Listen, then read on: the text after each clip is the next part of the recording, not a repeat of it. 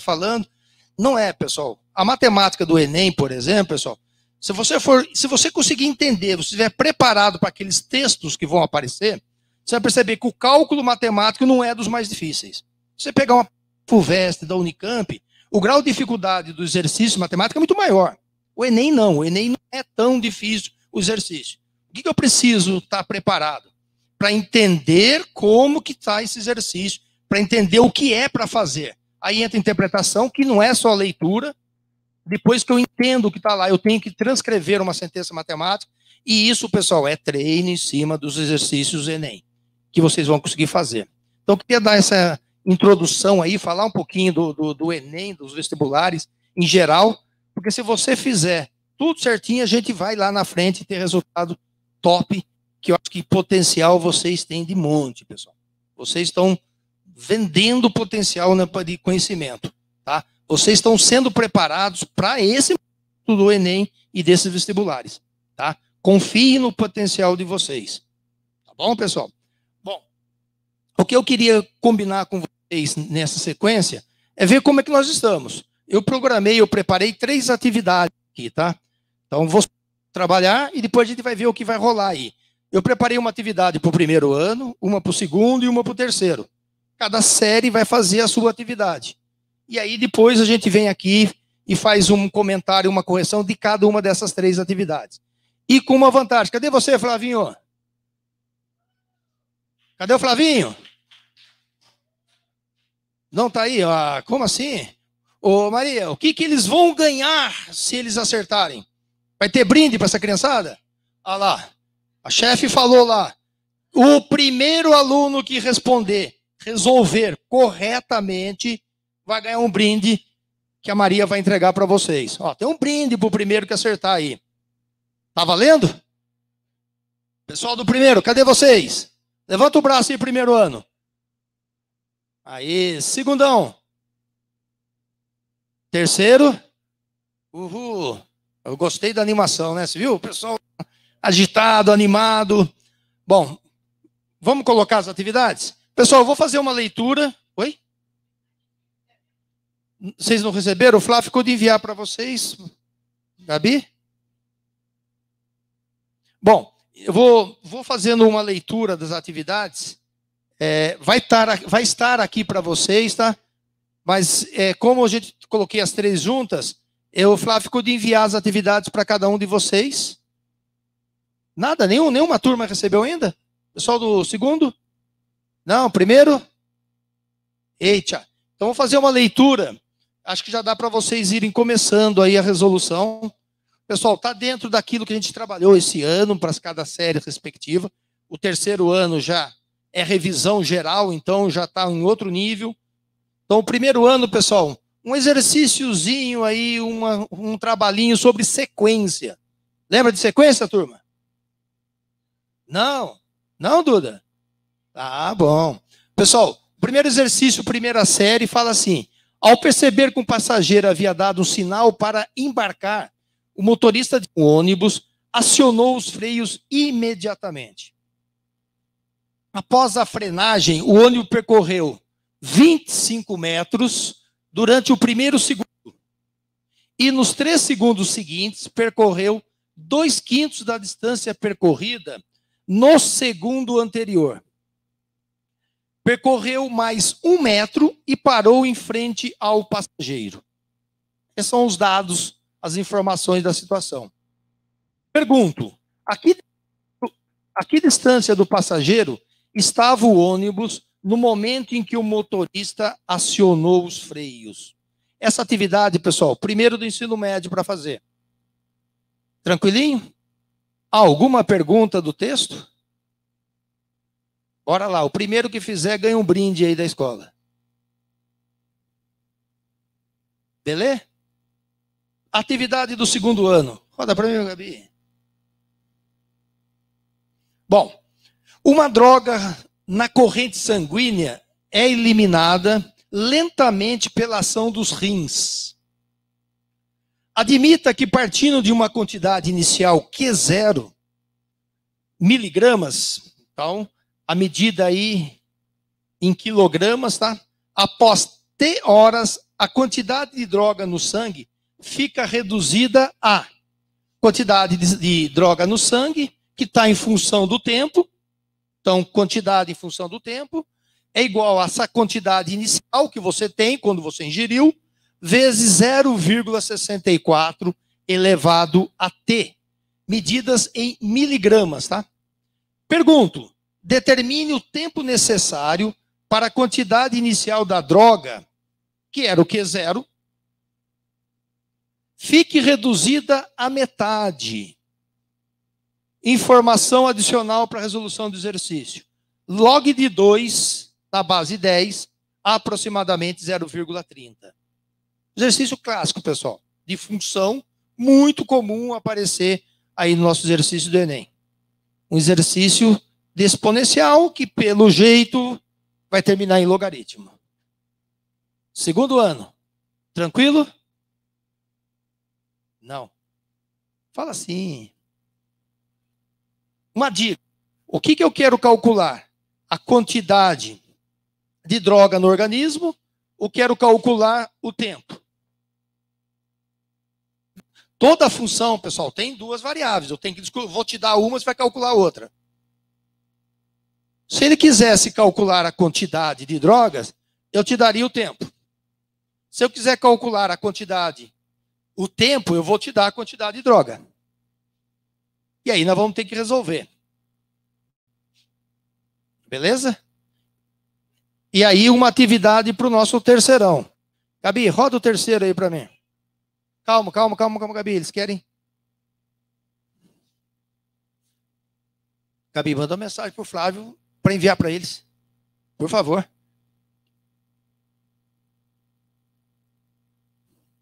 Se um aluno resolver as três questões, não vou dar hoje, mas sexta-feira, resolver as três. Sexta-feira ganho o primeiro que resolver, ganha uma caixa de bis. Não gostaram? Não? Não gosta de bis? Então. Oi? Pode ser. O ganhador escolhe, desde que não ultrapasse o limite que o meu bolso consiga pagar. Sim. Oi? Ah, só isso? Mas não, quer mais nada? Quer um beijo também não? Hein? Ah. Ah, nem tanto, nem tanto, mestre. O pessoal terceiro, posso rodar para a questão você? Então, bora. Sobe, Gabi.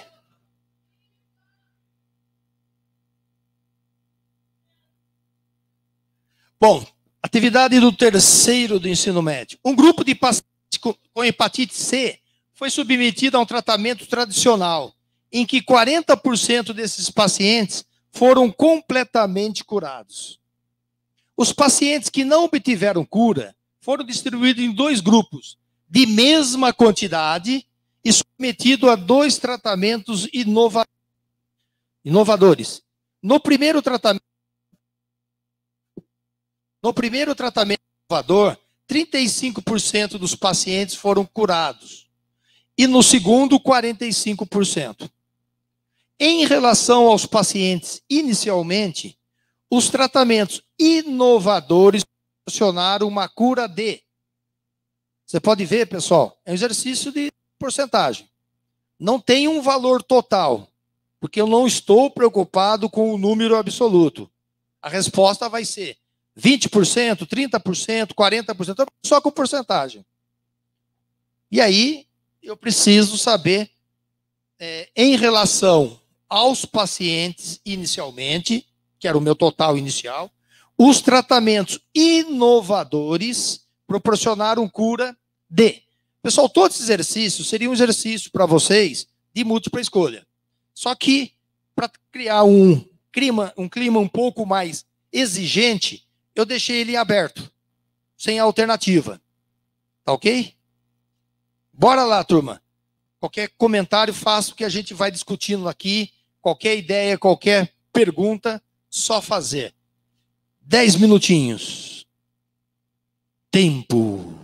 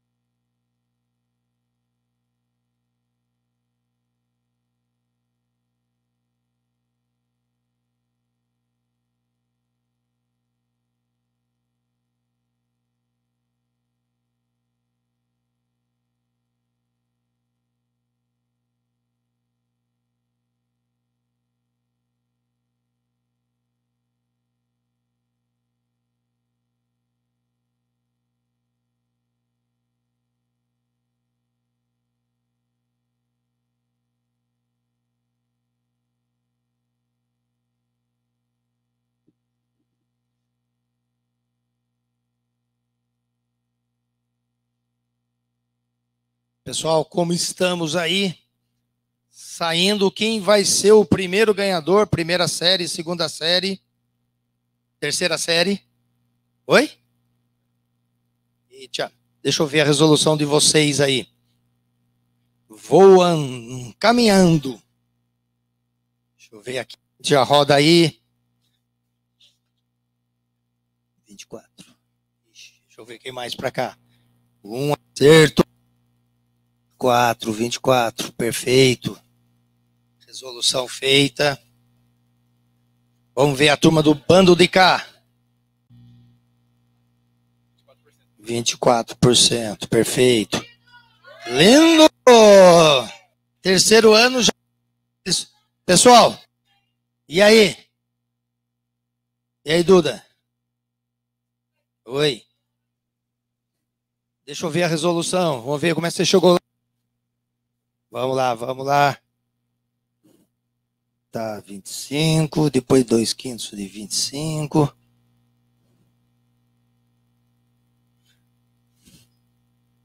Eita, não. Rapaz, pera aí. Eu não entendi muito o que você fez, mas eu tenho, eu tenho o gabarito. Deixa eu pegar ele ali já.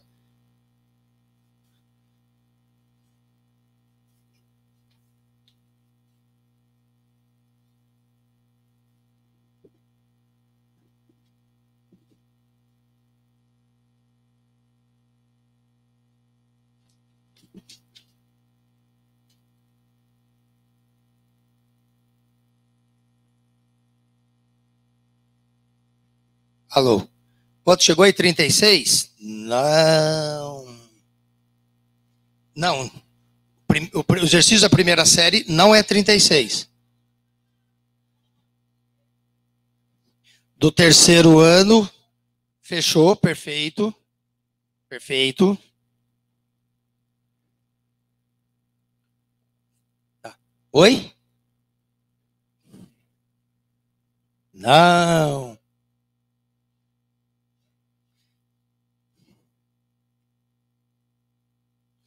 Segunda série. Consta?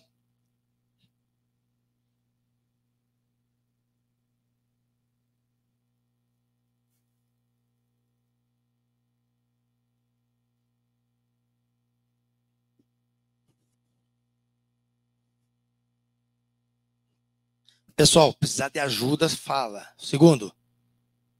Deixa eu ver, Bruna. Tira mal. Como não? Nós estamos aqui para. Bruninha, bora. Como que eu vou ajudar? Esse pessoal não quer. Primeiro, e aí? Vamos ajudar? Vamos lá.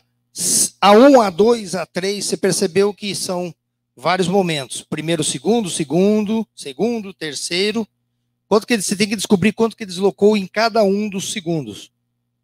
E aí no final ainda tem mais um tempo lá de frenagem para chegar no deslocamento. Depois que você descobriu o valor de cada um desses, primeiro segundo, segundo e terceiro segundo, e mais o valor final, somou. Então, não pensem em usar uma fórmula de PA ou PG. Não é. Tem um padrão? Tem.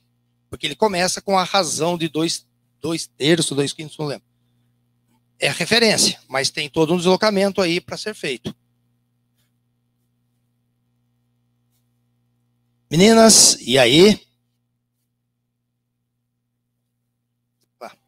Mas vamos lá, vamos lá que o pessoal do, prime... do, do terceiro já matou deles, já está no do segundo e do primeiro.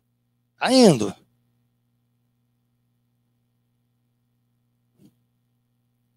Meninas do fundo, ajuda? Nada? Tranquilo? Rafa? Quer lhe perguntar? Não. Não gosta de aparecer na, na TV, né? Vai lá, vai lá, vai lá.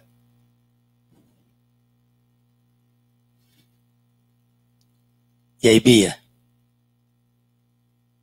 Oi, eu,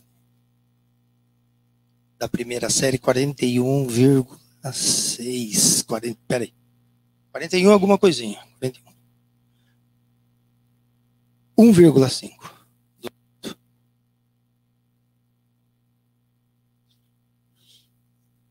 Beleza.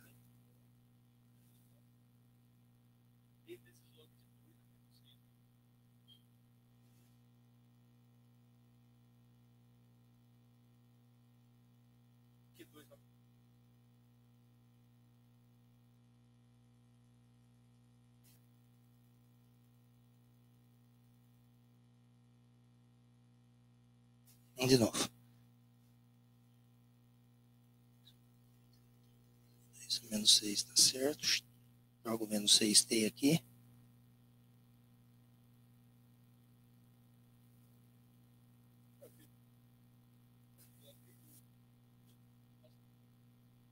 Tá, você não fez, tá, tá, usou o log, tá certo. Metade cancelou, 0,64. T.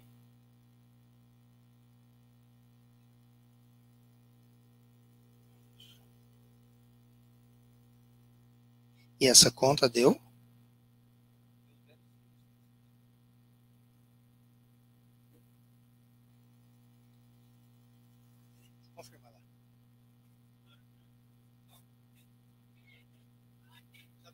Só.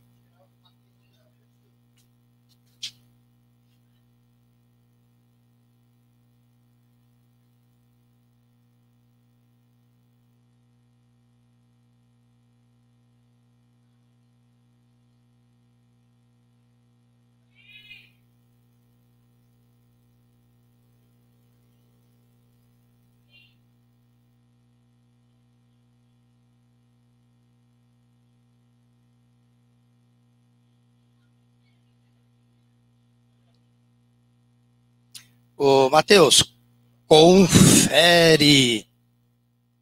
Jorge, Matheus está lá. Confere. Tá. Eu estava olhando outra coisa lá. Só confirmar. Tá, cancelou. meio, jogou log dos dois lados. Tá, o T veio multiplicando. Beleza, 2 elevado a menos 1. Aqui fica menos 1. Aqui fica menos 6.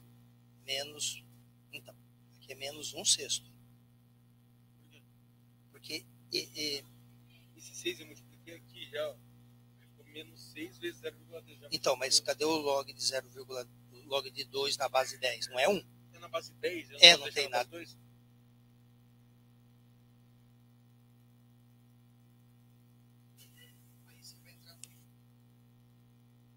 Colocar o na base 10. Então aqui é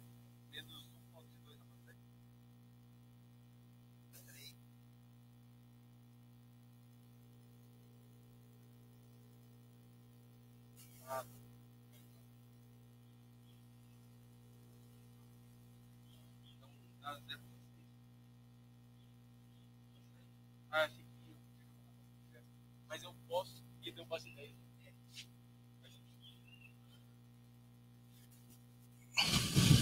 Bora, vamos ver o que rolou aí. Beleza. 41,6. Fechou.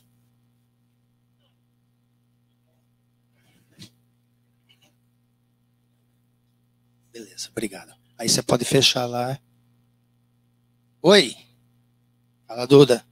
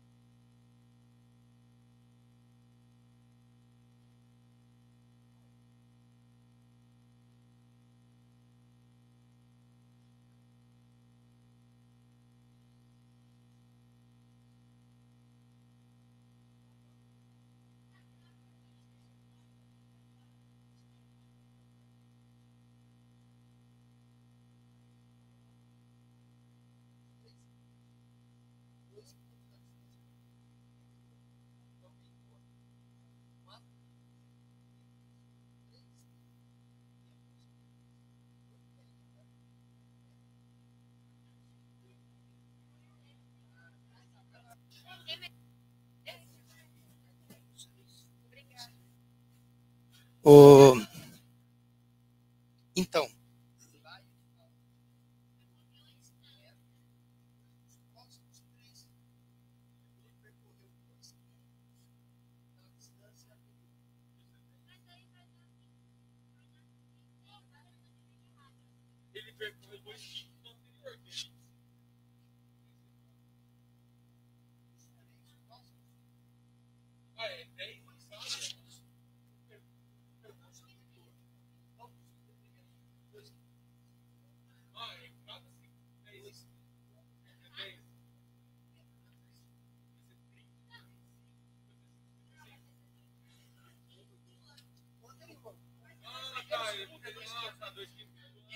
2 quintos de 25. No segundo, segundo é 2 quintos do que você percorreu no anterior.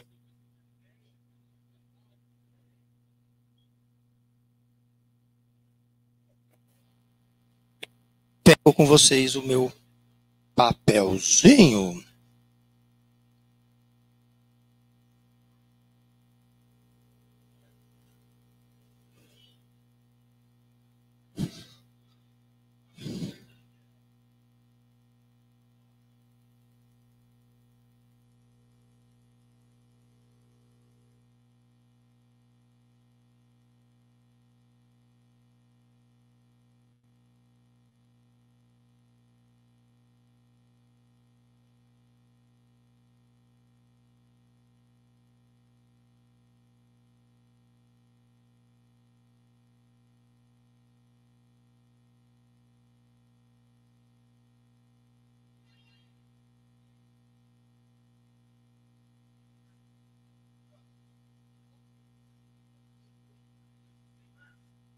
Oi.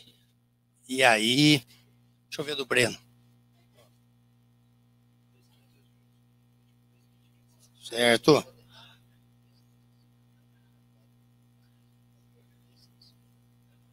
Fechou, Breno. Certo. Certo. Certo. Rafa matou mais uma aqui, fechou. Breno e Rafa. Pontinhos para os dois. O, o,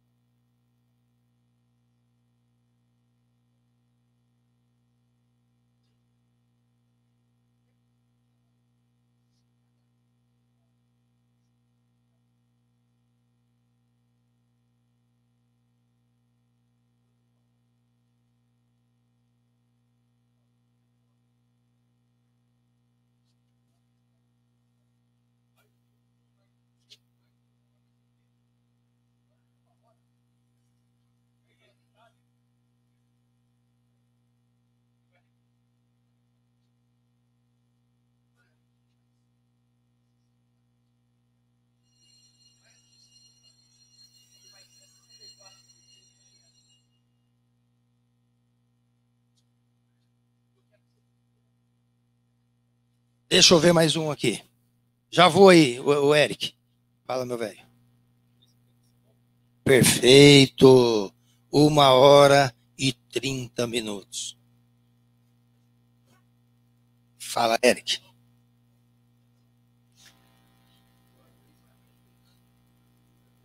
Eita.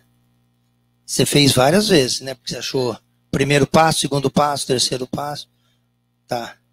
Tá que você achou aqui? Beleza, perfeito. Você tentou uma equação, ao invés de trabalhar só com uma sequência numérica. Mas tá, tá chique. Eric matou, pessoal. Pessoal, posso ir resolvendo? Ô, Flávio, você vai ter que dar brinde para um bando de aluno aí. Tem que acertar, hein? Se vira. Hein, Flavinho? Vai ganhar um abraço do Flávio.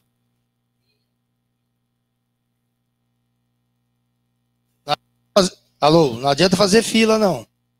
Pessoal, posso começar a resolver lá? Senão a gente vai passar o tempo de, e a gente não vai dar o retorno para vocês. Tem o pessoal de casa que está aí acompanhando, já deve ter ansiosos para saber a resposta aí. Bora? Primeiro ano, posso fechar de vocês? Pessoal está pensando ali. Posso? Então bora lá.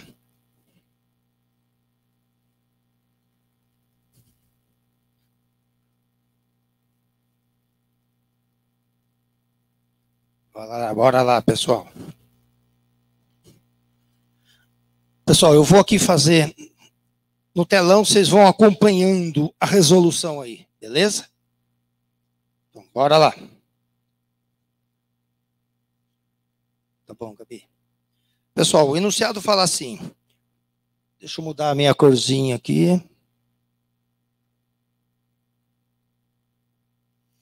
Ao, ao perceber que o passageiro havia dado sinal para embarcar, o motorista de um ônibus acionou os freios imediatamente.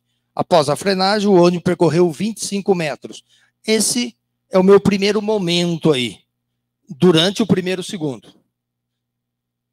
Não, a frenagem pegou 25 metros durante o primeiro segundo. E nos três segundos seguintes, ele percorreu dois quintos da distância percorrida no segundo anterior. Detalhe importante aí, tá? Não é tudo em cima do 25 metros, é em cima da distância percorrida no momento anterior. Então, vou fazer assim, pessoal, vamos lá. Eu vou colocar aqui como A1 a primeira distância percorrida no primeiro segundo que foi de 25 metros. E aí a gente vai começar a calcular todos os segundos, no segundo, segundo, no terceiro e no quarto segundo. Foram quatro segundos que o ônibus ficou freando. E ainda teve mais um deslocamento final que ele deu aí de mais um metro. Então tem que calcular cada um deles. Vamos para o segundo segundo. Dois quintos da distância percorrida no segundo anterior. Então, dois quintos de 25. Bom, 25 com 5 aqui, uma divisãozinha, dá 5 vezes 2, fecha nos 10 metros. Esse é o deslocamento da frenagem do ônibus no segundo segundo. Bora para o terceiro. A mesma relação, 2 quintos do segundo anterior. No segundo anterior, 10 metros. 2 quintos de 10. Também até aqui tranquilinho, tudo número inteiro. Dá 2, 2 vezes 2, 4 metros. E aí o meu quarto segundo, que também segue o mesmo, a mesma razão aqui, né? Continua dois quintos.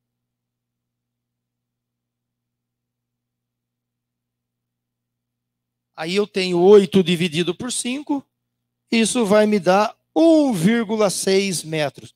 E aí, pessoal, eu tenho o quinto segundo aqui, que não entra nessa razão, porque ele fala no final que percorreu mais um metro. E aí, o resultado, essa soma.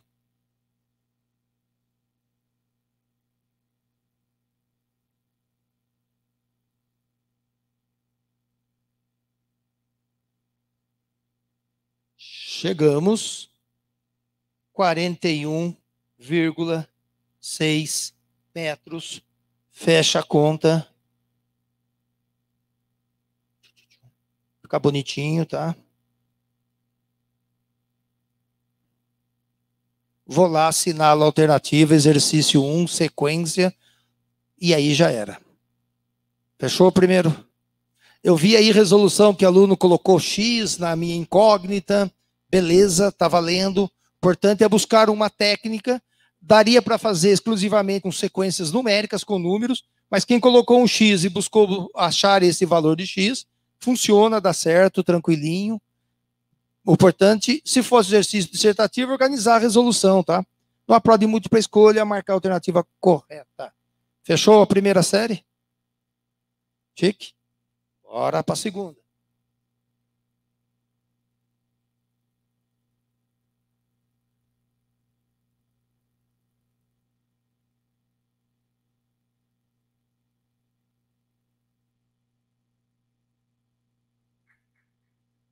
Hello. Isso aqui é um 2, tá, pessoal? Antes que os opositores comecem a falar que isso é, outro, é um, um símbolo inexistente, isso aqui é um 2, tá, pessoal? Bom, turma, bora lá.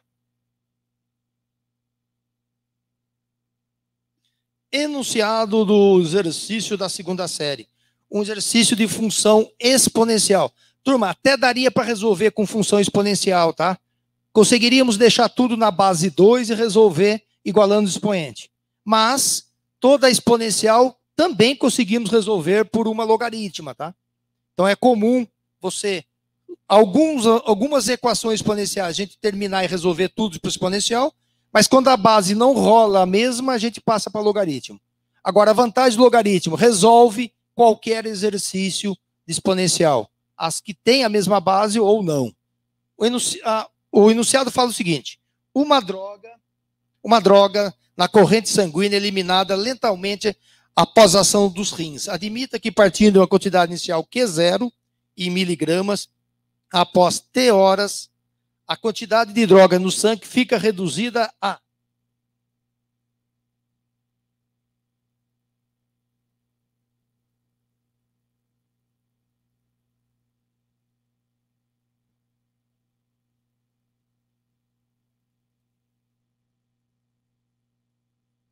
Pessoal, essa equação já me fala bastante coisa, tá? Se a gente lembrar de exponencial, deixa eu levantar um pouquinho aqui para a gente comentar algumas coisas. Sempre, pessoal, que aparecer funções exponenciais, que vai envolver muito crescimento e decrescimento, nós temos algumas informações importantes. Essa, que é o Q0. Como exercício ele não está preocupado com o valor absoluto, ah, eu tenho lá 500 gramas de, de, dessa droga, eu quero que caia pela metade, quero que caia para 250. Poderia ser um exercício numérico, mas como ele quer a resposta em porcentagem, essa quantidade inicial aqui não vai fazer diferença para o exercício. Você vai perceber que ela vai sumir na continha. Mas guarde, pessoal, esse número que vem multiplicando aqui é a quantidade inicial. Quando a gente fala, por exemplo, de é, juros compostos, o montante é uma forma igualzinha a essa. Você põe montante aqui, põe capital aqui. E aqui é a taxa. Que, como é crescimento, vai dar 1, alguma coisa. Lembrando que quando esta base está entre 0 e 1, meu gráfico está decrescendo. Então, vai estar tá diminuindo ali a quantidade de droga no sangue. Se essa base fosse maior que 1, significa que eu continuo ingerindo essa droga.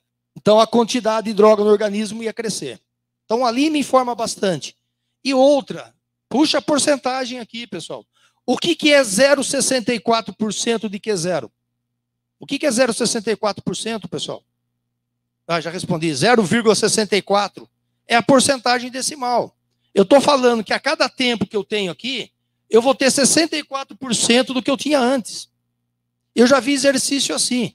Enquanto vai reduzir a quantidade de droga no organismo? Quem responderia essa pergunta? Não é essa. Mas qual a resposta que eu daria ali? Vai reduzir em 64%? Não. 64% é o que vai sobrar no meu organismo de droga. Se vai sobrar 64%, está reduzindo quanto? 36% de redução. A cada hora reduz 36% da minha redução. Pessoal do primeiro, viraria uma PG. Viraria uma PG se eu quisesse resolver isso. A fórmula da PG entra aqui, ó. PG, fórmula do termo geral da PG. A1, onde começa, aí vem a, a, a razão elevado a n menos 1 outro exercício de função exponencial. Poderiam puxar isso aí para uma PG se eu quisesse resolver. Mas bora lá, vamos fazer o que ele quer aí. Ele pede que a quantidade de droga caia pela metade. Então,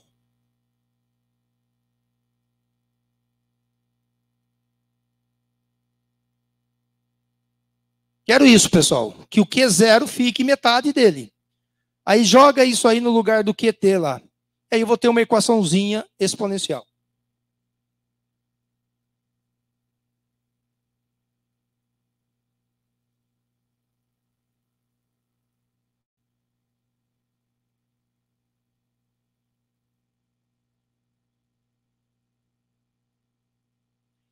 Pessoal, equação exponencial, potência de um lado, passa todo o resto para o outro. Esse Q0 aqui, ó, o que vai rolar quando eu passar para o outro lado? Está multiplicando, dividindo. Com o Q0 do outro lado, já era o Q0, pessoal. Ou seja, essa quantidade inicial não vai interferir na resposta do exercício. O Q0 vai cancelar. Aí tenho no primeiro membro meio e no segundo membro 0,64 elevado a t. E aqui que eu falei que eu conseguiria fazer o 0,64 e o meio ficar tudo em potência de base 2. O meio 2 elevado a menos 1. O 0,64 também a gente consegue jogar para fração, dar uma simplificada. Eu prefiro, para a gente treinar um pouquinho de log, resolver isso aqui por logaritmo. Coloca logaritmo em todo mundo aqui.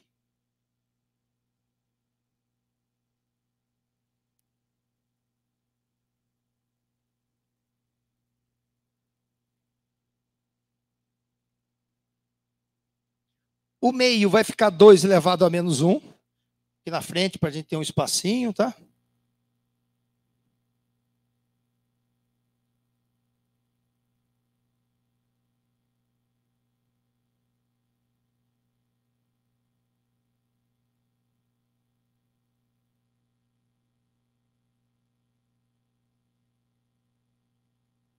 Passei o 0,64 para fração. E aí começamos com as propriedades de logaritmo. Potência vira multiplicando o log. Então aqui eu tenho menos 1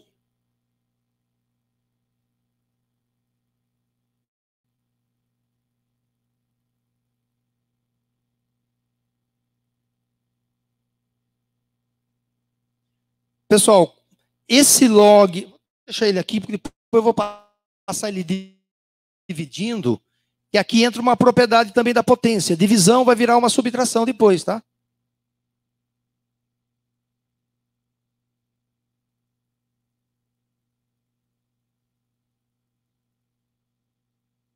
Isolando o T, vou ter do lado em cima da fração menos o log de 2, que é informado 0,30, tá?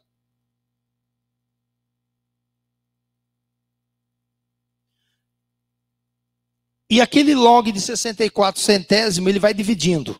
Como tem uma divisão, ele vai virar uma diferença.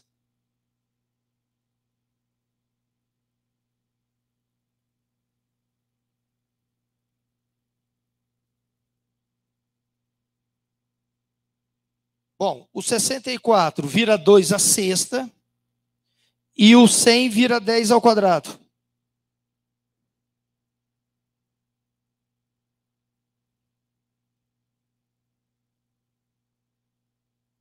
Aqui 6 log de 2. Lembrando que log de 2 é 0,30.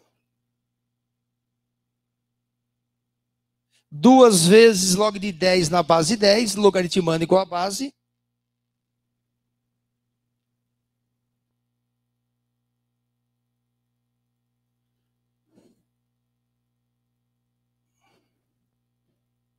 Pessoal, alguém apagou um zero vírgula aqui, tá? Em cima, menos 0,3.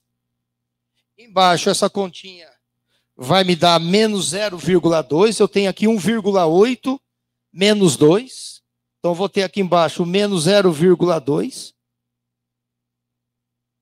E aí, apertadinha aqui no final, tira as vírgulas, multiplica por 10 em cima e embaixo, troca o sinal, vai dar 1,2. 5. 1,5, uma hora e 30 minutos, turma. Esse é o exercício do segundo ano. Forcei vocês, né, pessoal do segundo? Judiei. Não, não, não tanto, não tanto. Tá? Eu, eu poderia ter resolvido por exponencial, acho que vocês iam encontrar mais facilidade, tá? Porque nesse momento aqui, ó, eu poderia passar o 0,64, tentar trabalhar com base 2. Porém, não é sempre que a gente consegue deixar tudo em base 2. Então, optei em fazer por logaritmo, porque se não rolasse a base 2 ali, eu ia ter que me virar com o logaritmo. Então, optei em fazer tudo por logaritmo. Ah, mas dá mais trabalho. Sim, só que também é garantido que eu resolvo qualquer equação. Por isso, a opção de fazer aqui por log, tá, turma? E aí, chegamos no terceiro ano, falando de um exercício de porcentagem. Deixa eu rodar um pouquinho aqui a tela, pessoal. Espero que ainda tenha, tem.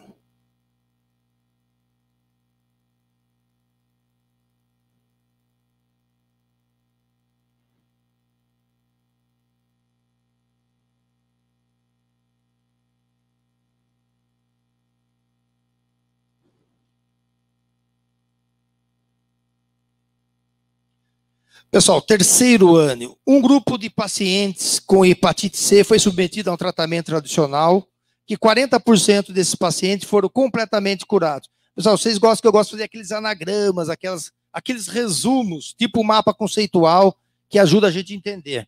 Como eu não estou preocupado com o valor absoluto, é porcentagem, eu vou chamar o meu total de 1x. Esse 1, pessoal, quer dizer 100% das pessoas que eu tenho. Ou seja, todos passaram por esse tratamento. E aí eu tenho minha primeira divisão aqui.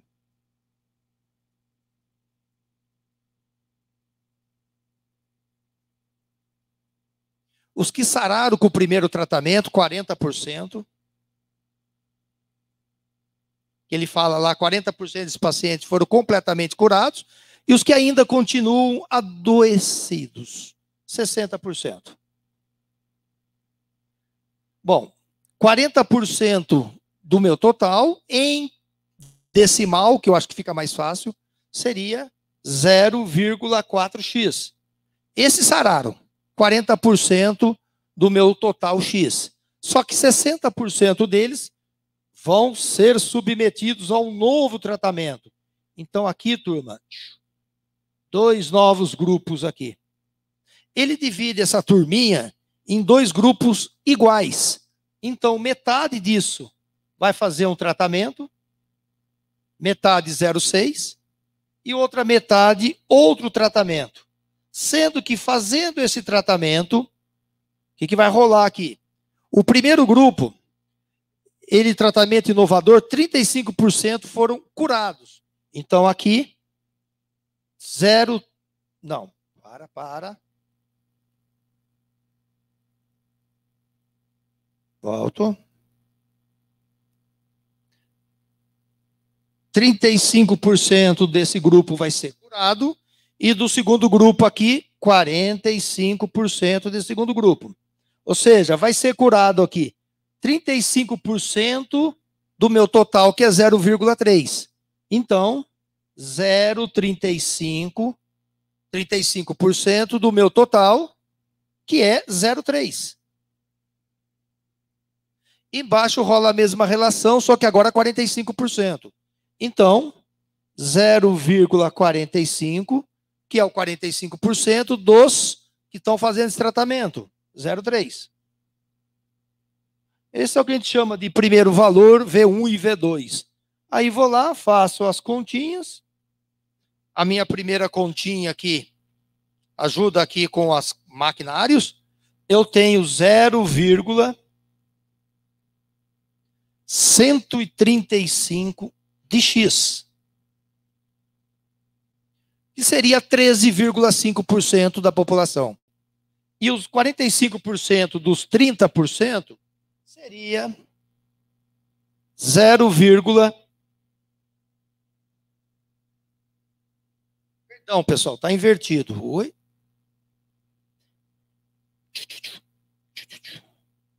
A primeira conta aqui O 0,35 de 0,3 dá 0,105. E aqui embaixo, sim, 0,135x. A pergunta, turma, estava assim. Em relação aos pacientes inicial, ou seja, em relação a X, o tratamento inovador proporcionaram uma cura de só o tratamento inovador. Então, o meu, o meu TI tratamento inovador obteve no primeiro tratamento 10,5% de resultado de cura, que é o 0,105.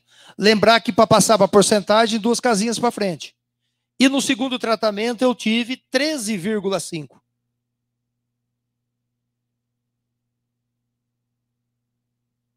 Então, o meu TI, 23, 10 com mais 13, 23, mais meio, meio, 24% se curaram com o trabalho, com esse tratamento inovador. Cuidado com as perguntas, tá? Eu poderia perguntar assim: quantas pessoas se curaram em porcentagem? 24%, pessoal, foram que se curaram com esse novo tratamento, esse tratamento inovador. Só que lembra que eu já tenho 40% também que se curou antes. Então, o total de curados, não é essa a pergunta, daria. Isso com certeza vai estar na alternativa. O 40 com mais 24 estaria lá os 64% que foram os que curaram. Isso é o total de cura. Só que a pergunta era outra. Em relação aos pacientes inicialmente, em relação a X, os tratamentos inovadores proporcionaram uma cura de Resposta alternativa: 24% da população inicial foi curado com esse tratamento. Tá? Pessoal, só para dar uma ideia, eu acho que o Flavinho já está ali de olho, já estou com o meu tempo esgotado. Flávio, os brindes, pode comprar um caminhão de brinde que quase todo mundo acertou. Palma para nossa turma. Valeu, pessoal, obrigado. E detonem. Final de semana agora, tamo junto. Tem uma provinha para nós aí. Churras, estão dentro. Tchau, pessoal. Um abraço. Pessoal de casa. Tamo junto, sempre. Abraço, pessoal. Flavinho, é todo seu. Passei alguns minutinhos. Uma salva de palmas para Gilmar, que agora vai receber em mãos um prêmio, um presente da Nicole. Vem aí, Nicole, traga para o seu professor favorito. Muito bem. E aí, pessoal de casa, pessoal que está no YouTube, escreva aí seu comentário, mande aquele salve para o Gilmar. Ele lê todos os recados e manda os seus abraços. Parabéns mais uma vez para o Gilmar. Muito legal. Hoje, então, está sendo o nosso primeiro dia de aulão preparatório para o Enem, para os outros vestibulares. Vocês já tiveram aula de redação, história, é, matemática e agora a última aula do dia. Lembrando que amanhã, sete e meia da manhã, estaremos aqui. Amanhã tem uma agenda, digamos, um pouco mais humana. Uh, e eu tenho certeza que vai ser muito importante para vocês também. A galera de, de exatas foi a loucura nesse momento, né? Muito bem, vamos então receber ela que. Ela que. Tem minhas anotações aqui. Vamos lá. Formada em física pela Unesp, tem pós-graduação em matemática na UFSCar, fez engenharia de materiais na Unesp, leciona física e matemática no Colégio CEP há 10 anos. Ela, ela, Lilian Joia!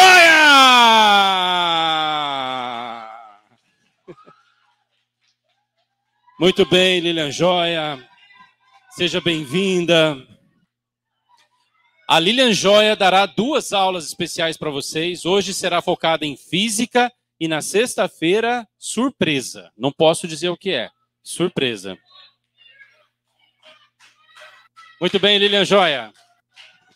Oi, gente. Bom dia. Tudo bem? Tudo certo? Muito animados, né? Satisfação. Bora lá? Ó, Hoje eu vou dar aula de física e na sexta eu complemento a matemática que o Gilmar começou aí. Galera, acho que todos os professores que passaram aqui falaram de várias dicas aí de como você deve se comportar quando pegar a prova e tudo mais. Mas antes de tudo, eu acho que você tem que ter confiança naquilo que você está fazendo. Então, pegou a prova. Se te deixa mais confiante, olhar a prova inteira para depois começar, ok. Não, eu gosto de ir de questão em questão e está tudo bem também. Acho que você tem que seguir aquilo que te deixa mais confortável, tá bom? É, eu peguei o Enem aí como base, e aqui tem algumas porcentagens das matérias que mais aparecem aí. Então, ali na mecânica tem 38% da prova, mas isso, o Enem, gente, é base para todas as, né, é nível nacional, então é base para todas as provas aí dos vestibulares paulistas também, então a Unesp, a Unicamp, a FUVEST, segue muito que o Enem, as divisões do Enem. Então, dentro de mecânica, a gente estuda cinemática, dinâmica, são dois pontos que a gente vai analisar aqui.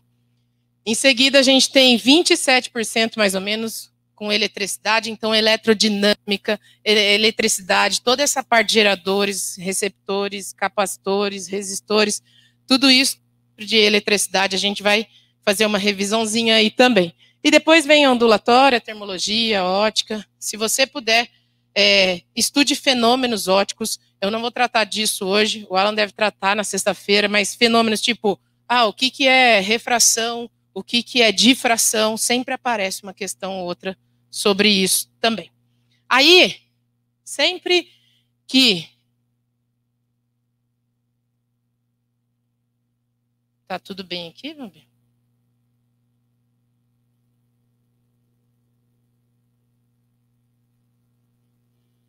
Sempre que a gente fala de sistema internacional, tem uma galera que fica meio perdida aí.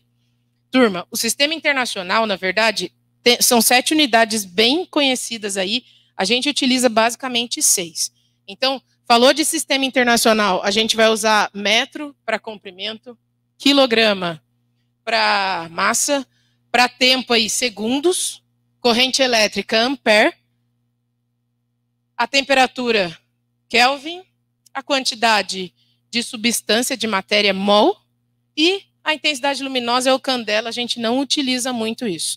Mas, por exemplo, para sair um Newton, para sair um Joule, para sair um Faraday, tem que usar esses caras aqui. Você está vendo que as unidades, isso aí para quem vai fazer uma prova escrita, as unidades, turma, que são minúsculas, não são nome de pessoas. Então, nem o metro, nem o, nem o segundo, nem o mol. Mas o ampere e o Kelvin são nome de pessoas. Então a gente coloca com letra maiúscula.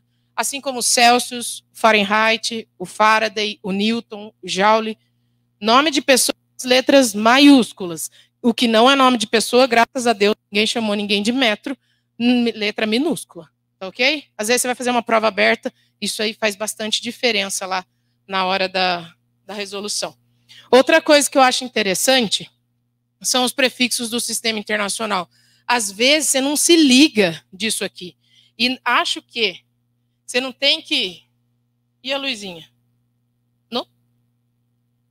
Gente, acho que você não tem que se importar com todos os prefixos. Mas se você souber, pelo menos ali, ó, começa. Estou falando do mega, giga e tera, que são os maiores do que um. Então, eu estou falando quilo é 10 a terceira, o mega 10 a sexta, o giga 10 a 9 e o tera 10 a 12. Esses são importantes. Os menores também. Então, o mili 10 a menos 3, o micro 10 a menos 6, o nano 10 a menos 9 e o pico 10 a menos 12. Se você souber do menos 12 até o 12, beleza. Porque às vezes vai cair em eletricidade, ah, a carga é 6 microcoulomb. O micro não é unidade. Entende que prefixo, gente, é número. Então a gente tem que transformar isso no meio da questão. Tá certo? E quantas vezes já falei na sala de vocês? Às vezes a gente usa anotação científica, mas chega lá na hora de realmente ver como é que funciona, a resposta está usando prefixo. Então, a anotação científica fala assim: coloque um número antes da vírgula que não seja o zero. Certo?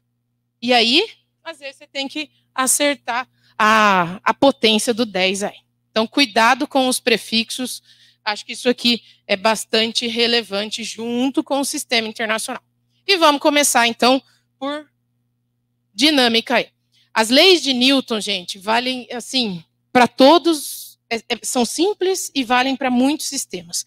Então, a primeira lei fala assim, que é o princípio, todas elas tratam de princípio. Então, você vai falar, Lilian, o que é princípio? Princípio é tipo um começo, um início. Ninguém conseguiu falar assim, isso está errado. Mas também ninguém conseguiu é, é, ir além dessas leis. Então, a primeira lei fala sobre o princípio da inércia.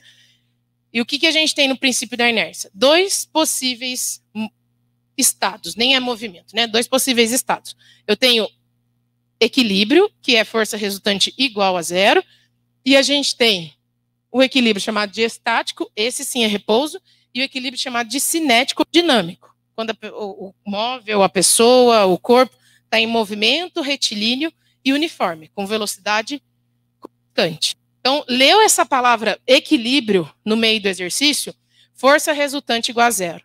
Se tem força para a direita, você vai anular com a esquerda. Se tem força para cima, você vai anular com para baixo e assim por diante. A segunda lei é o princípio da, fundamental da dinâmica, eu costumo dizer que eles são totalmente diferentes. Porque na primeira tem que dar zero. E na segunda tem que dar um número. E a gente tem na segunda força resultante massa vezes aceleração.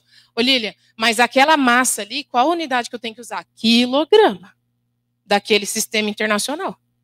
Certo? Então, se vier em tonelada, Lília, nem sei o que é uma tonelada. Uma tonelada representa mil quilogramas. E se vier em miligramas, divida por mil, você vai achar quilograma. Então, a segunda lei tem que usar, gente, massa vezes aceleração. A terceira é o para ação e reação, e aí é onde todo mundo confunde. Se eu tenho qualquer coisa apoiada, tipo aqui, deixo esse passador de slide apoiado. Ele está em repouso, confere? Aí ele tem força-peso e tem força normal. E aí eu vou perguntar para você: toda força-peso normal formam para ação e reação? Não, galera, não forma, porque está no mesmo corpo. Para ação e reação tem que estar em corpos diferentes. Aonde que está a reação do seu peso? Hã?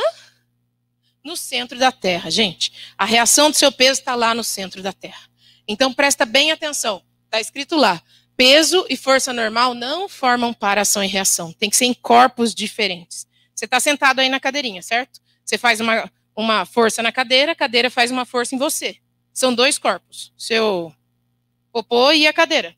Então, Aí sim tem paração e reação. Se eu encosto aqui na parede, a parede faz uma força em mim, eu faço uma força na parede. São dois corpos. Aí sim tem paração e reação. Tá? Toma cuidado com isso aí. Dudinha querida.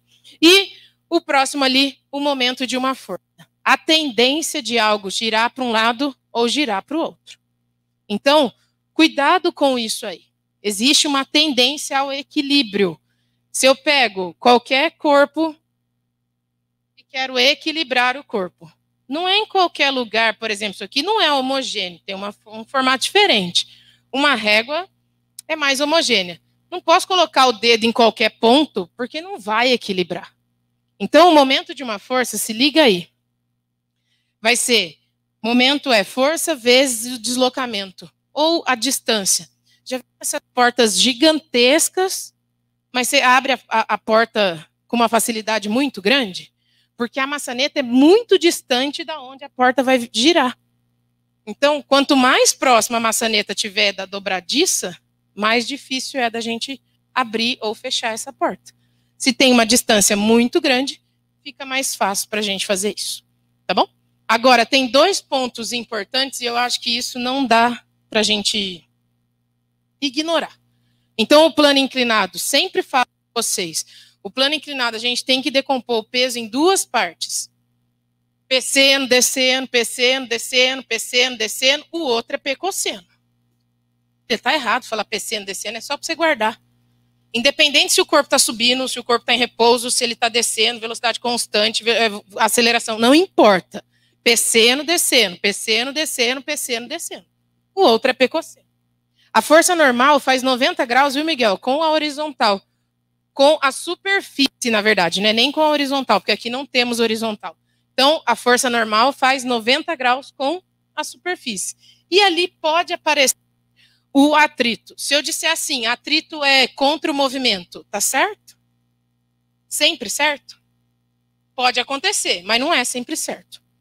O atrito é contra a tendência do escorregamento. Se escorrega para um lado, o atrito aponta para o outro. Lilia, onde que o atrito é a favor do movimento? Sempre eu dou esse exemplo aí. Quando você vai subir a esteira lá do supermercado, você bota o carrinho na esteira. Se o atrito fosse contra o movimento, jamais você conseguiria subir a esteira lá. Então, nesse momento que você bota o carrinho na esteira para subir a rampa, ali o atrito é a favor do movimento, não é contra. Tá certo? E aí, tem uma coisa que é muito importante em atrito. Ele ele aumenta, aumenta, aumenta até que chega na iminência do movimento. Gente, iminência, porque eminência é o Papa. Iminência do movimento, beleza? Ele aumenta, aumenta, aumenta, depois, quando começa a entrar em movimento, ele cai um pouquinho. Então, a gente diz que atrito na hora que o corpo está parado, tanto é que falam que manter o movimento é mais fácil do que começar o movimento. Atrito, enquanto ele está parado, chega num limite máximo, e depois ele cai um pouquinho. A gente mede atrito com normal vezes um coeficiente. Então, se uma superfície é muito lisa, atrito pequeno. Se uma superfície é muito rugosa, o atrito é grande aí, certo? E aí faz todo sentido quando o pneu do carro está ficando careca, ele começa a patinar, por quê? Porque o atrito está diminuindo. Não é à toa aquelas, aquela, aquelas, aqueles formatos do pneu que tem uns rasguinhos no meio, é, é, não é à toa isso. Ah, se o carro precisa, é um trator, precisa andar na lama, então aqueles buracos são maiores. Ah, um carro tem um formato mais baixo, é um carro de Fórmula 1, então nem tem direito a essas rugosidades no pneu. Tá certo? E é sempre aquilo que a gente é, costuma falar na aula. Depende pra, do que, que vai ser utilizado, para que vai ser utilizado. Tá bom? Então, cuidado. Plano inclinado, não esquece de decompor a força-peso. Atrito, existem dois tipos. O é, estático, que é quando o corpo está em repouso, aí ele vai até o máximo da iminência do movimento, e depois ele entra em movimento e é chamado de cinético aí, tá certo? Dudinha, tá com sono, vai lá e lava o rosto. Ó, atenção nesse exercício. Bem facinho aqui. Vai falar de plano inclinado. Então, vou ler, faço junto com vocês, a resolução já está ali em seguida. Fala assim, um plano inclinado liso e sem atrito. Não vou tratar de atrito apresenta um ângulo de 30 graus em relação ao solo. Sendo a gravidade local como 10 aí, determine a aceleração adquirida por um corpo posto a deslizar a partir do repouso aí. Galera, tá lá e o corpo começa a deslizar.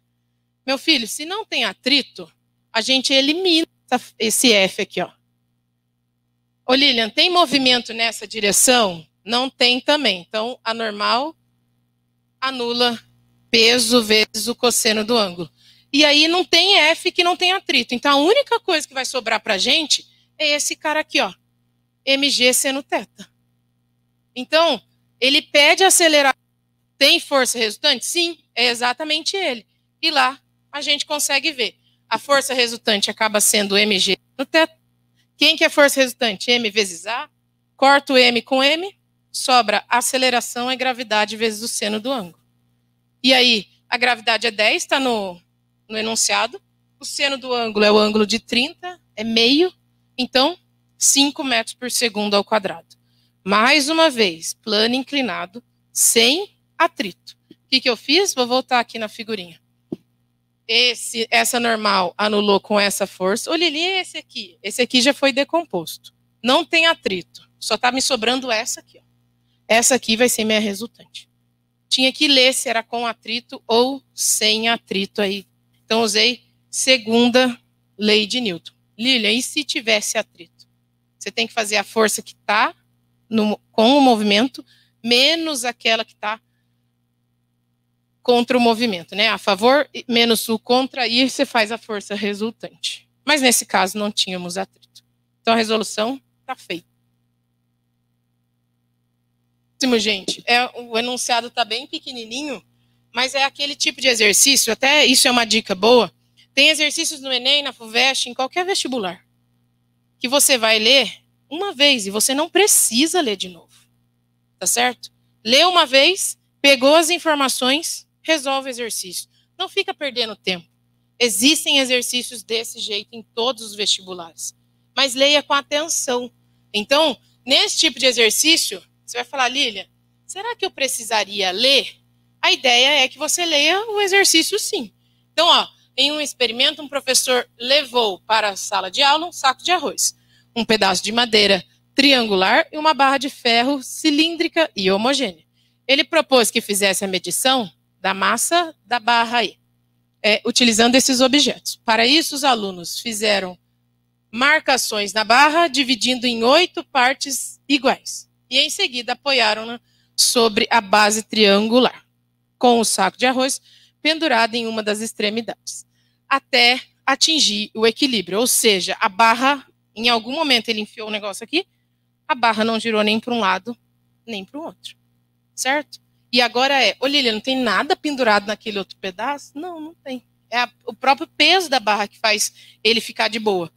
E que conta que a gente tem que fazer?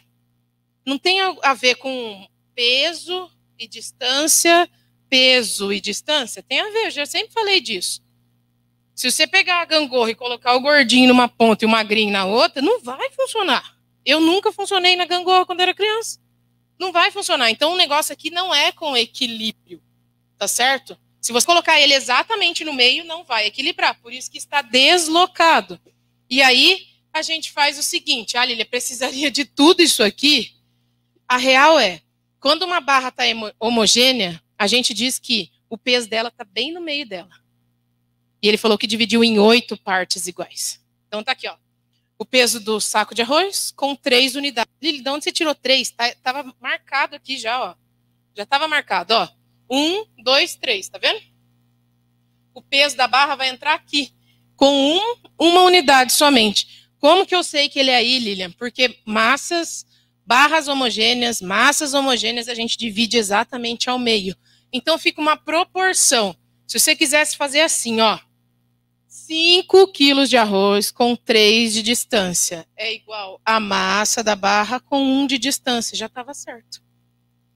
Era até mais fácil de resolver. 5 quilos de arroz, 3 de distância. 1 quilo de arroz, 1 um, de distância, perdão, uma, o peso da barra aí, a massa da barra. E aí a gente acha que é 15, certo? Proporção a gente consegue enxergar aqui. Tudo bem? Então só dá para aplicar no centro da barra porque ela é homogênea. Isso aqui é momento de uma força. Tá certo? Aos que dormem, aos que mexem no celular. Vamos lá, continuando. As... Oi, filha. Esse aqui? Esse aqui? Ainda não. E aí a gente entra na parte de cinemática. Galera, a parte de cinemática é dividida basicamente, do dia dei essa aula no terceiro ano, em duas partes. Duda, levanta. E vai lá lavar o rosto, por favor, que senão eu não vou conseguir terminar a aula. Aí vou ficar. Continuando. A cinemática, turma, divide em duas partes: as que não têm aceleração e as que têm aceleração. Certo? Lilian, o que, que acontece aqui? Um movimento uniforme não vai ter aceleração, então a velocidade é constante, constante, o tempo inteiro, a mesma velocidade. Aqui abaixo, aí tem aceleração. Ô, Lilian, mas como que eu vou saber se tem? Às vezes ele fala aí, desacelerou. Saiu do repouso e foi para o 100. Saiu do 10 e foi para o 20. Então, se mudar a velocidade, é essa parte. Eu acho que o básico que muita gente erra na cinemática é isso. Não consegue nem separar entre movimento uniforme e uniformemente variado. Presta atenção nisso aí. Às vezes no enunciado está lá escrito. E você fala, ah, Lilian, eu nunca sei onde utilizar o metro por segundo e o, o quilômetro por hora. Você já sabe quem é sistema internacional, não sabe? Ó, é esse cara aqui. É o metro por segundo. Você pode usar tanto em um movimento quanto no outro. Nos dois são aceitos. Todas as equações você sabe, né? A equação da velocidade média é ΔS por ΔT, ou chamado de sorvete aí. Não tem aceleração. E essas outras aqui? Ah, essas tem. Essas tem. Via agarreatia. Se você tá meio acanhado, não, não, não faz não. Mais V0T, mais meio de AT2 e depois Torricelli. Torricelli não tem tempo. Hã? Torricelli é velocidade final quadrada, inicial quadrado, mais 2A vezes o delta S. Não, aquela lá. Não pode, gente, aquela lá não pode. Filhotes, presta atenção. Leia o enunciado do problema, ele vai falar com aceleração ou sem aceleração. Ah, às vezes a gente tem que colocar um sinalzinho de menos lá. Como assim, Lilian? Ué, se ele desacelerou com 2, você, na hora de fazer a conta, vai colocar menos 2 na aceleração. Tá certo? E uma velocidade negativa, o que, que representa? Que ele está quanto? Contra a trajetória. Lilia, então quanto que ele está freando quando a aceleração é negativa, a velocidade vai cair? Uma velocidade negativa não indica que ele está freando. Uma velocidade negativa é tipo aqui, a gente está na Via Dutra. Começa no Rio e termina em São Paulo. Se eu estou indo do Rio para São Paulo, velocidade positiva. Se eu faço o caminho contrário, é negativa mas não quer dizer que está freando ou acelerando. Cuidado com a trajetória aí. Outra coisa que é importante, o S0 lá, gente, tanto naquela fórmula quanto essas aqui, indica posição inicial. Já perguntei isso outro dia. Posição inicial e origem representam a mesma coisa? Hã? Precisam ser a mesma coisa ou podem ser a mesma coisa? Podem ser. Tá certo? Gente, origem é onde começa a sua estrada. Tipo a Via Dutra começa no Rio. Quem sai do Rio pega a origem, o S0 valendo zero. Agora, eu que começo aqui em Jacareí não vou pegar a origem da estrada. Só vou começar meu movimento no quilômetro X lá. Tá certo? Eriquinho tá com sono. E aí, vou falar já em seguida de eletrodinâmica. Isso aqui é, cai todo ano, turma. Vocês sabem que cai aparece sempre isso aqui. Lília, eu não sei nem o que é eletrodinâmica. Talvez a turma do nono viu no oitavo ou no nono, não sei direito. Mas o segundo já viu, o terceiro também. Então, quando a gente fala de resistência, turma, resistência é aquilo que resiste à passagem dos elétrons, confere? E aí eu sempre dou esse exemplo também. Chuveiro na posição inverno. Resistência grande ou resistência pequena? Vê aí, Matheus, está no celular. Chuveiro na posição inverno. Resistência grande ou resistência pequena? Vamos pensar um pouquinho? Resistência é o que resiste à passagem dos elétrons. O chuveiro na posição inverno, eu acho que você quer que fique quentinho. Então, eu tenho que deixar passar muitos elétrons para ele ficar, a resistência lá dentro ficar incandescente. Então, se passam muitos elétrons, a resistência é pequena, gente. Então, preste bem atenção nisso. Posição inverno, resistência pequena do chuveiro aí, porque eu quero que ele fique quentinho. Corrente, ah, é um do corrente elétrica tá, tá lá no sistema internacional, é um do, das unidades que a gente tem, o ampere, o A grandão lá. Quantidade de carga pelo tempo, tá bom? Aquele tempo ali na corrente elétrica tem que ser em segundos e a resistência elétrica pode ser medida por duas formas. U sobre I, que, Lilian, o que, que é U? DDP e o I é a corrente elétrica, ou então, não vou falar outra não, a resistividade, comprimento do fio e a área aí, tá certo? Todo mundo já sabe aquele, né? Ah, ó, ah, não pode. É, mas então vocês já aprenderam. Então, ó, tá tudo certo. Galera, se liga numa coisa. A resistência pode ser associada de duas formas.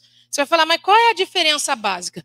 Gente, a resistência série, uma ao ladinho da outra, todo mundo com a mesma corrente. Se eu tirar uma resistência, acabou o sistema.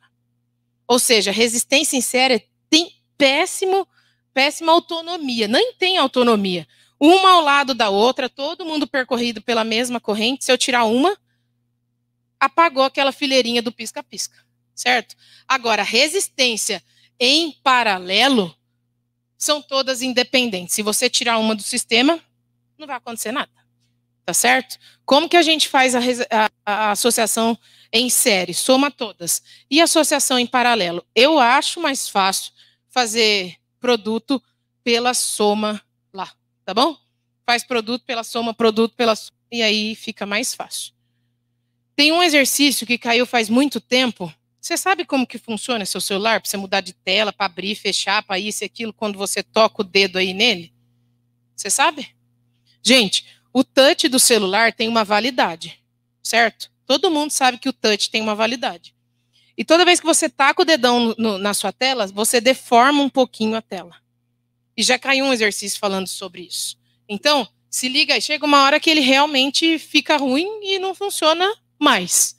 Então, preste bem atenção. Quando você coloca seu dedo ou uma caneta aí na tela, ele fecha um circuito e você consegue mudar ou abrir um aplicativo, ou fechar, ou enfim, fazer várias coisas aí. Certo? Como que funciona isso? É uma associação de resistência. Sério, Lilian? Sério. Então, por isso, não taque o dedo com muita força. Você vai regaçando com o touch do seu celular. Tá? Acontece o seguinte, ó. Vou ler esse exercício aqui com vocês. Muitos smartphones e tablets não precisam mais de teclas uma vez que todos os comandos podem ser dados ao se pressionar a própria tela. Inicialmente, essa tecnologia foi proporcionada por meio de, das telas resistivas, é, formada basicamente por duas camadas de material condutor transparente que não se encostam até que alguém as pressione, modificando a resistência total do circuito de acordo é, aonde o ponto é, que ocorre o toque aí. A imagem é uma simplificação do circuito formado aí por duas placas. Então, olha lá, ó. Se aqui está indicando que está aberto. Quando você tá com o dedão lá, tem uma deformação, você fecha o circuito e funciona numa boa aí. Tá certo? A pergunta do exercício é: qual que é a resistência equivalente é, do circuito provocada por um toque que feche aí o circuito no ponto A? Gente, ele vai tacar o dedo aqui, vai fechar no ponto A. Alguém falou do ponto B? Não. Então, esquece o ponto B, não vai entrar na conta. Aprenda a ler o que está escrito aí. O que, que a gente tem? As duas resistências lá em cima estão em paralelo. Olívia, eu não enxergo que é paralelo. Tem três fiozinhos lá em cima e três aqui embaixo. Quando você tiver três ou mais fios, são paralelos. Se você tiver dois, tipo assim, ó, só tem uma dobra de fio, isso não é paralelo. Isso é série. Então eu faço a resistência equivalente dos dois de cima. Se liga numa coisa. Quando eles forem iguais, você pode pegar a quantidade, o valor de 1 e dividir pela quantidade. Então peguei 4K e dividi por 2. Então aqueles dois se resumem a um desse aqui. E aí está um em seguida do outro, que é série. E aí é só juntar e somar. Acabou o exercício. Talvez o problema de muita gente foi querer fechar o circuito no ponto A e no ponto B e ó, puf, era uma vez. Ô Lilian, acontece muito em física deles darem algumas informações e a gente não usar. Sim, por isso que você tem que estar tá ali, ó. Eu acredito no que eu estou fazendo. Acontece sim de aparecerem informações e a gente não precisar utilizar. Tá certo? Ok? Então, acabou aqui. Outra coisa, só para lembrar, já que eu vou mudar de assunto. Esse cara aqui, gente, esse E, é chamado de gerador. Pra, não sei nem o que é um gerador. É uma pilha, uma bateria, certo? Para um esquema funcionar, para esse microfone funcionar, esse passador de slide e tudo mais, tem uma pilha uma bateria aí, seu celular também, que está alimentando ele. Como que a corrente se comporta aqui? Ela sobe ou desce se eu disser que esse é um gerador? sobe, né? Lilian, eu não sei falar isso. Então se liga numa coisa. Sempre nos geradores, eles que definem o sentido da corrente. A corrente nesse sistema gira no sentido horário, sempre do menor para o maior potencial. Geradores, pilhas e baterias. Eles que é, é, é, alimentam o sistema, eles que definem o sentido da corrente. A corrente sempre do menor para o maior. Então, aqui, sentido horário, horário, horário. Certo? Cuidado com isso aí quando aparecer alguma coisa. E vou para o último tema aí. Fala o seguinte, gente, sobre potência, trabalho, energia e tudo mais. Eu acho que é um dos temas aí bastante importantes para a gente tratar. Quando eu falar de potência, pode ser potência elétrica U vezes I, mas pode ser qualquer tipo de energia pelo tempo. Qual a unidade mais comum que a gente tem da potência aí? Hã?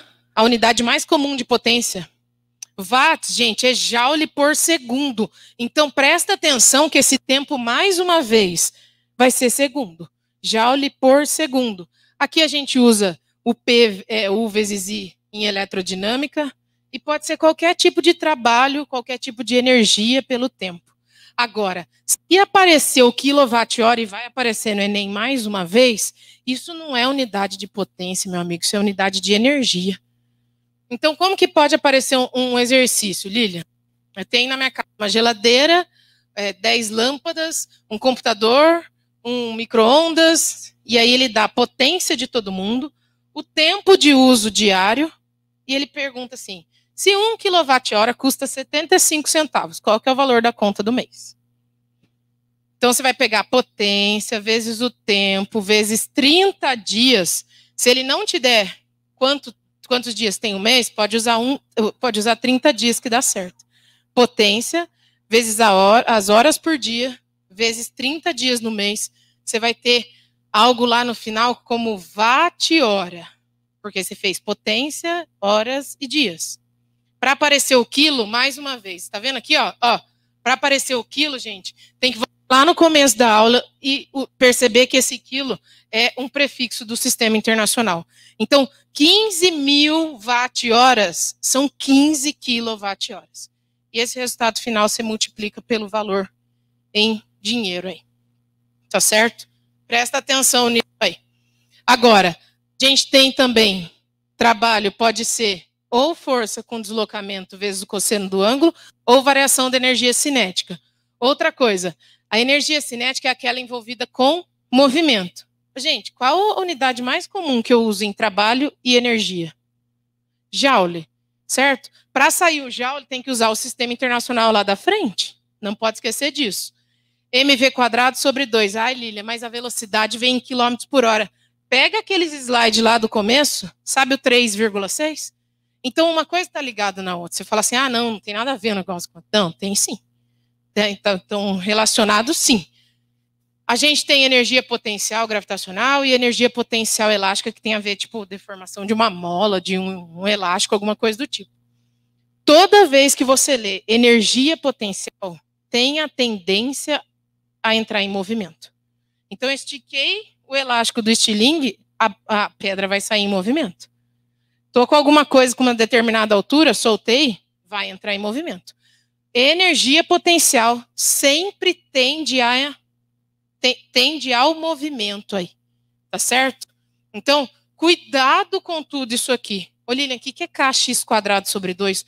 O K é uma constante da mola. Se você pegar uma canetinha Tec aí, ou um, um amortecedor de carro, gente, os dois são molas, certo? Só que cada um suporta uma força. Então, cada um vai ter um valor de K diferente. E o X é a deformação que ela vai sofrer. Então, uma mola tem 10 centímetros. Pendurei um corpinho nela e agora ela tem 16. O X é 6. É a variação de comprimento que essa mola vai ter aí. Preste atenção nesse negócio, porque vai aparecer na sua prova também. Tá bom? No final, vou fazer aí. A mais sobre só questões. Ele fala o seguinte, gente, nossa. Uma análise criteriosa no desempenho do Bolt lá na quebra, deixa eu vir para cá, do recorde mundial dos 100 metros rasos, mostrou que, apesar de ser o último dos corredores ao reagir ao tiro e iniciar a corrida, seus primeiros 30 metros foram os mais velozes já feitos em um recorde mundial, cruzando essa marca em 3,78 segundos. Até se colocar com o corpo reto, foram 13 passadas, mostrando sua potência durante a aceleração. O momento mais importante da corrida aí. Ao final desse percurso, o Bolt havia atingido a velocidade máxima de 12 metros por segundo, gente. Cara, 12 metros, vocês têm noção do que é isso? É muita coisa. É muito, ali eu não sei, faz vezes 3,6 que você vai ver quantos quilômetros é em uma hora. Então, assim, é, é, é muita coisa, certo? Ele fala ainda o seguinte: supondo que a massa do corredor era igual a 90 quilogramas, qual o trabalho total realizado nas, prime nas 13 primeiras passadas aí? É mais próximo de qual valor? Ele está usando notação científica, ele está usando Joule, que é do sistema internacional. Na verdade, eu não preciso mudar nenhuma unidade. Metro por segundo, quilograma, segundo, então tá tudo bem. Gente, para começar a corrida, o cara estava com qual? Zero, concorda? Eu tenho duas velocidades, trabalho pode ser medido de duas formas, ou força, deslocamento, cosseno, ou variação de energia cinética que tem a ver com velocidade. É mais fácil a gente usar variação de energia cinética, já que eu tenho duas velocidades, certo?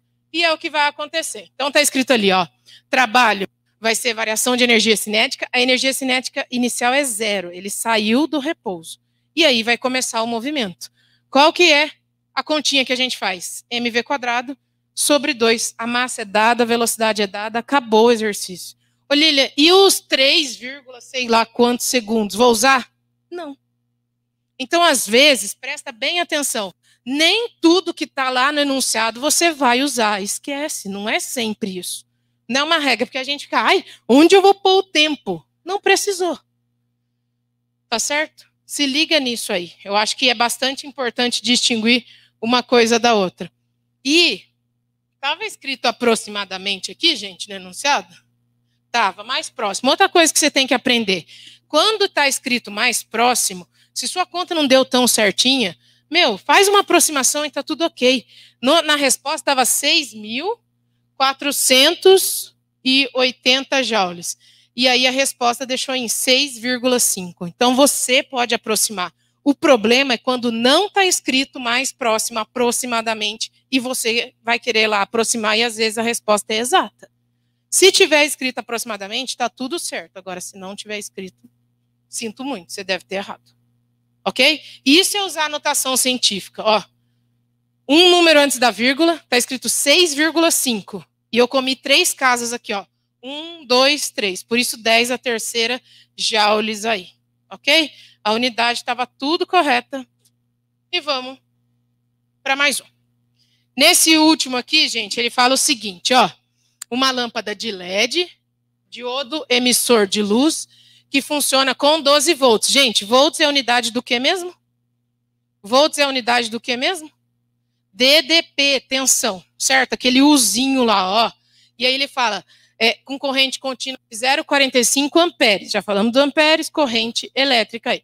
Produz a mesma quantidade de luz que uma lâmpada incandescente de 60 watts de potência. Tem gente que fala watts, mas eu falo watts mesmo. Então, ó, qual é o valor da redução?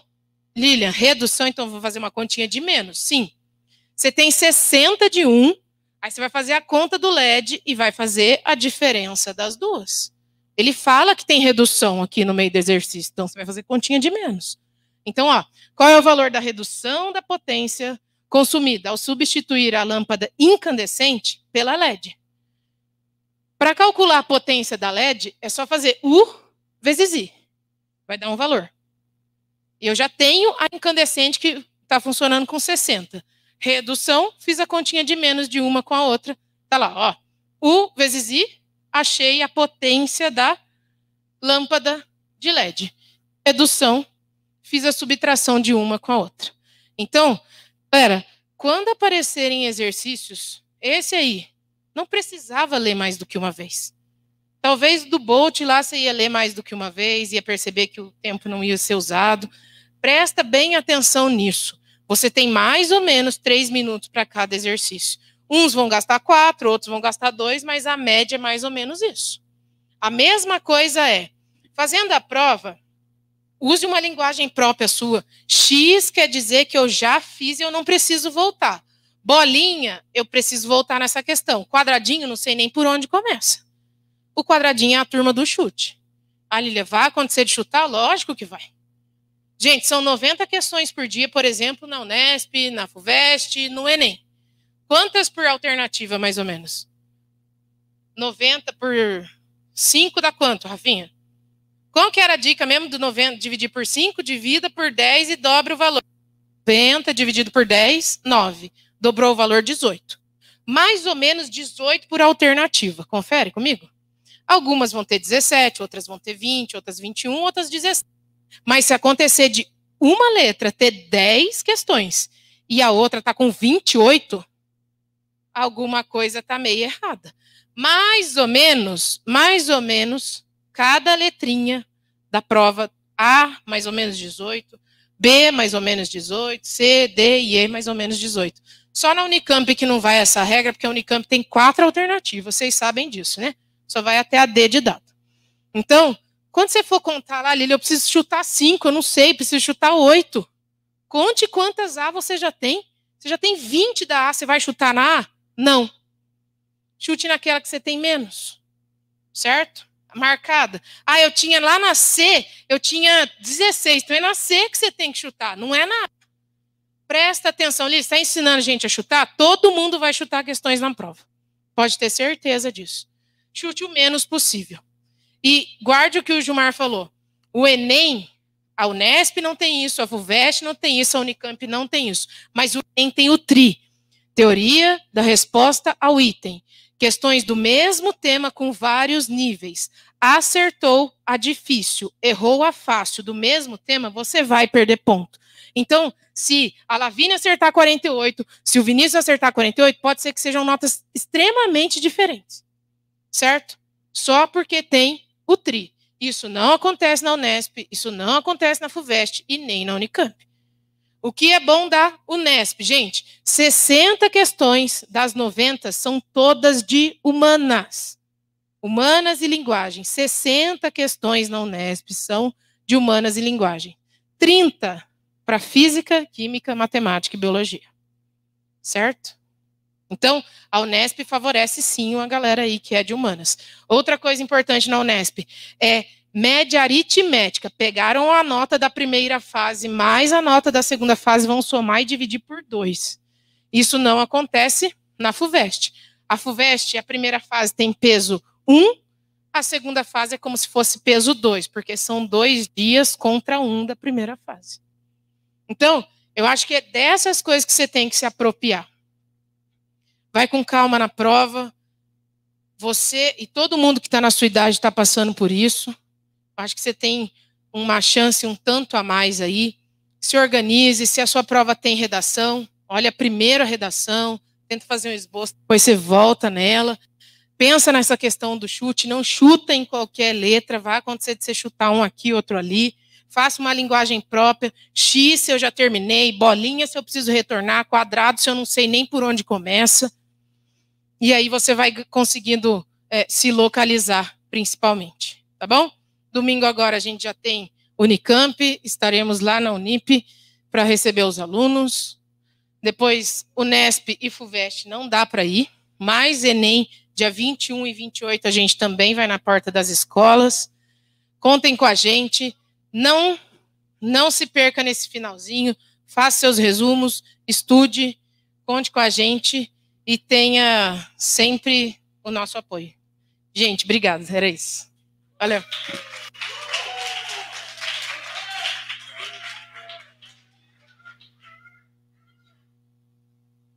Quê? Se hoje tem, tem plantão hoje à tarde? Online, tem. Muito bem, mais uma salva de palmas para Lilian Joy. Vamos lá, Fefe, você pega lá para gente, por favor, o presentinho da Lilian Joia. Muito bem, gente. Muito obrigado para vocês que estão online acompanhando essas aulas especiais. Lembrando que amanhã a gente tem aulas de linguagem, geografia, química, literatura, enfim, todas as áreas sendo aí uh, trabalhadas para que vocês possam chegar nos, nas provas do Enem, nos vestibulares ainda mais preparados. Agradecemos a todos vocês que vieram presencialmente. Amanhã, sete e meia, estaremos aqui mais uma vez. Agradecemos também ao Júnior, à Alessandra, que estão trabalhando arduamente aí nessa, nessa transmissão. A Mabi, que ficou ali de suporte. Enfim, a todos vocês, muito obrigado. Uma salva de palmas para todo mundo. E até amanhã, sete e meia da manhã, no segundo dia de aulão preparatório para os vestibulares. Valeu, gente. Até lá.